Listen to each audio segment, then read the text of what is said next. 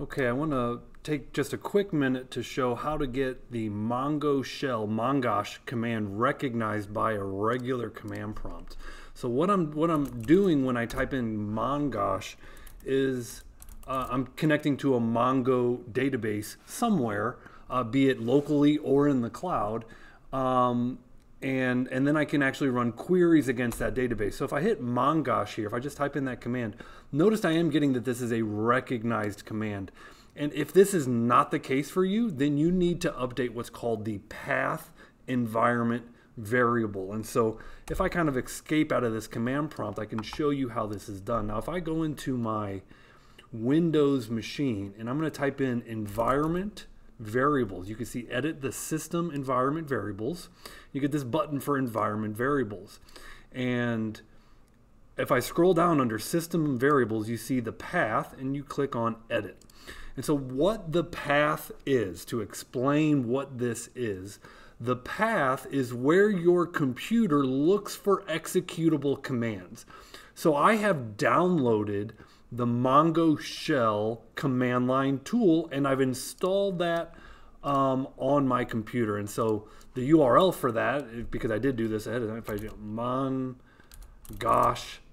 uh, download, uh, not community, uh, download Mongo Shell.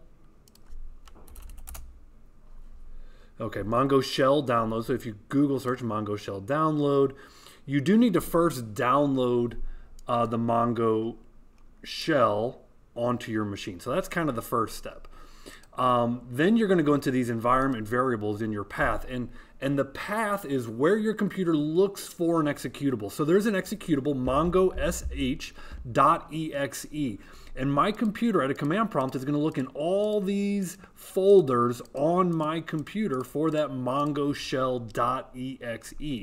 And if I highlight the place that makes this all work on my computer, when you use kind of like the default installs, um, I should have, and I just was looking at it right here.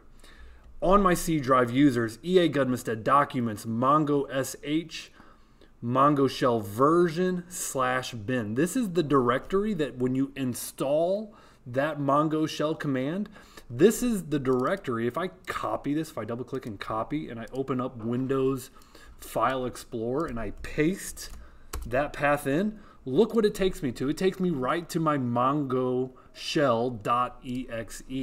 So when you install, you need to pay attention to where that bin directory is located. This is my default where it's on my machine. You know, uh, your mileage may vary, but you need to pay attention where this is at Okay, and so you copy this directory and then you go into your environment variables. In this case, you hit new and you paste in that directory. Now I already have that in there. I'm not gonna I'm not gonna hit OK because I already have it.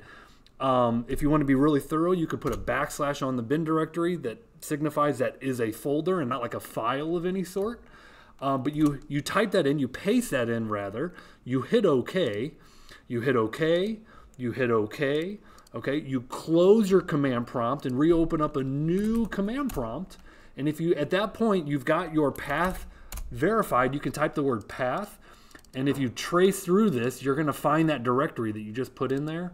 Again, this is kind of hard to look at, so uh, it's in there uh, because it's the same place. And verifiable, now if you type in mongo sh, this is a recognized command in your command prompt.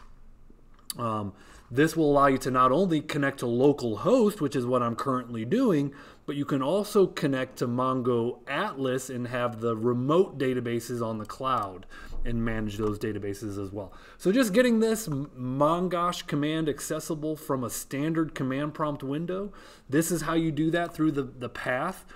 I will say that if you run the executable directly, notice um, if you run that Mongo shell uh, directly, um, it immediately prompts you for a connection string. You could just hit enter.